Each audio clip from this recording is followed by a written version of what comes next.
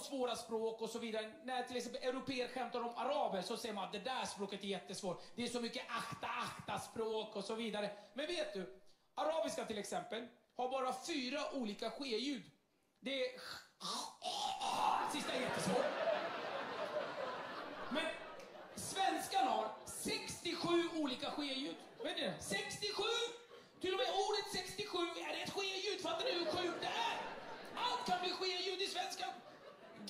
Bli ske-ljud. Vanligt S, S, J, C, C, H, S, H, T.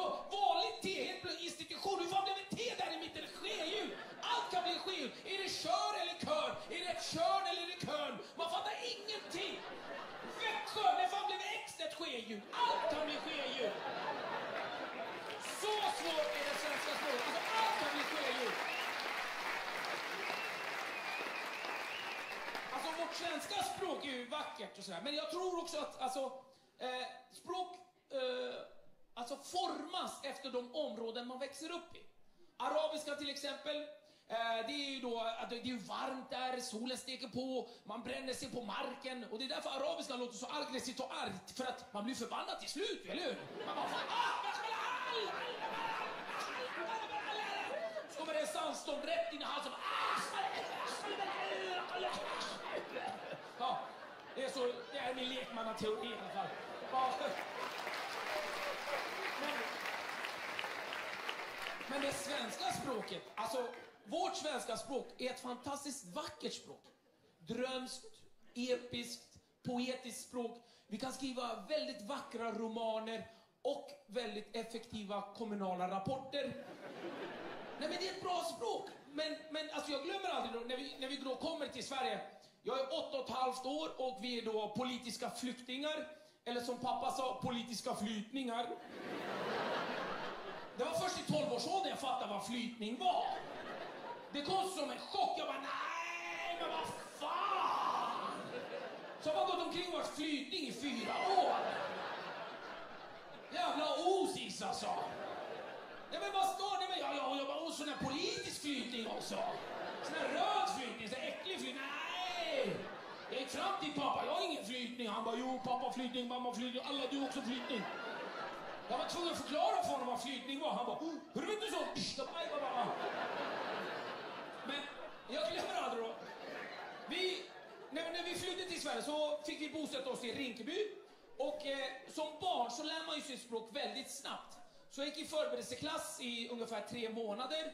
Och efter det, för att nej men alltså, som barn så eh, tar man ju allting bokstavligt. Och jag tar saker fortfarande bokstavligt för jag tror att jag är ett bokstavsbarn. Nej men så är det. Och, och nej, men i det kurdiska språket så är AA hela tiden. G är G, S är S, K är K, T är T. Hela tiden. Det är samma sak. Men i det svenska språket så gör vi lite vad vi vill med våra bokstäver. Som vi vill och när det passar oss. Och jag märkte att det är ett av de få språk där vi har fler undantag än regler. Jag står där då inför min klass i Rinkeby efter att då liksom, efter några månader så ska jag presentera mig själv inför min klass. Och man är nervös, man bara God morgon klassen!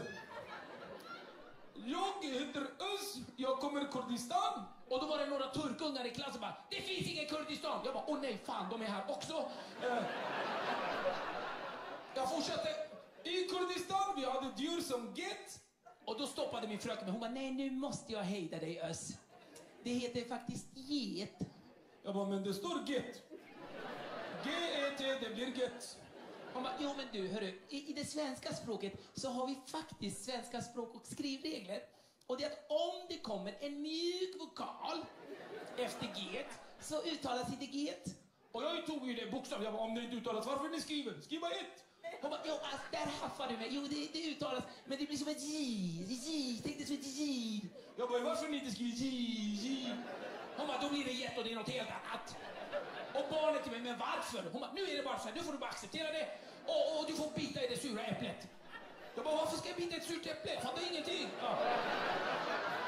Hörrni, det går inte ens en timme så säger jag till samma fröken, jag bara, fröken, för nu tror jag jag har lärt mig. Jag bara, fröken, eh, kan jag få gem? Hon bara, det heter gem. Jag bara, men du sa! Kommer du ihåg vokal efter gem? men ibland så gör vi som vi vill faktiskt. Och så är det bara med det. Nu får du bara... Och det är så svenskt, tycker jag. Nu är det så. Ibland gör vi som vi vill. Det här är, det här är samma vecka som vi har klassens roliga timma. Och varannan klassens roliga timma så brukade vi att någon tog med sig kassettband på sin favoritmusik. Oftast var det Madonna eller Michael Jackson. Och nu vill jag vara lite fin i håret eftersom det var sista lektionen på veckan. Och nu såg jag på tuben vad det stod. Och nu fanns det två olika sätt att säga det här på. Så jag säger till fröken, fröken eh, kan jag få gelé, gelé, gelé, gelé, gelé, gelé, gelé, gelé. Hon bara, det heter gelé. Helt plötsligt blir G ett ske-ljud från ingenstans. Jag står där och bara, alltså du skämtar med mig. Hon bara, det heter skämta. Jag, bara, jag trodde i alla fall, jag bara, aha du skojar. Ja. Svårt språk. Mycket svårt, väldigt roligt. komma till ett nytt land, ny, ny kultur, nya uttryck och så vidare. Du skämtade ju det här med att det var lite löjligt när en svensk pratar franska. Men fransman som pratar svenska är ännu löjligare. De förstör vårt språk.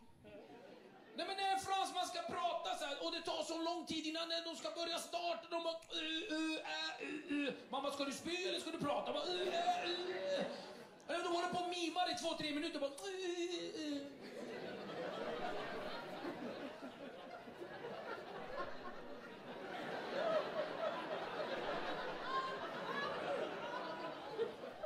Je, je, je. Jag äter. Man bara, åh han äter, han är kock eller någonting då. No, no, no, mitt namn är Jean-Pierre. Man bara, åh Jean-Pierre, var bor du här i Sverige? Uddens. Man bara, vad fan ligger Uddens?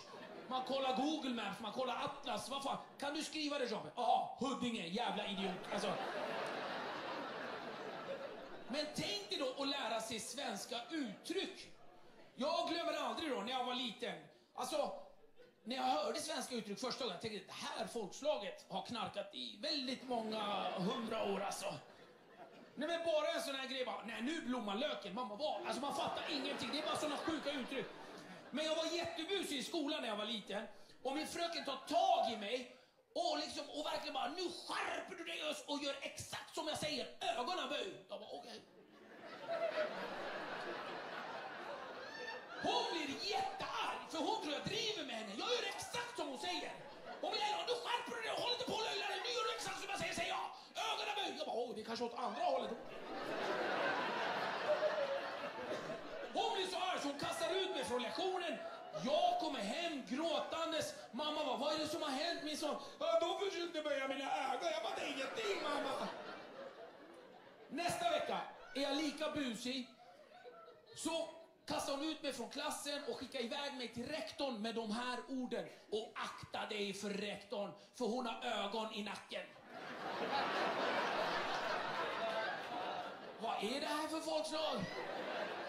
Jag är en nyanländ flyktingpojke. Jag har aldrig varit så rädd i hela mitt liv. Flera veckor gick jag så här längs rektorsexpeditionen och varnade alla andra ungar i Rinkeby. Bara, abo, akta er, hon har två, tre ögon till. Abo, abo, akta, hon har två, tre ögon. Jag svär, det är någonting. Ja. Men det mest sjuka och absurda, det var bara några månader senare så ger hon mig en perm och som den enklaste saken i världen så säger hon så här, här Ös har du permen och så vill jag bara att du kastar ett getöga på den.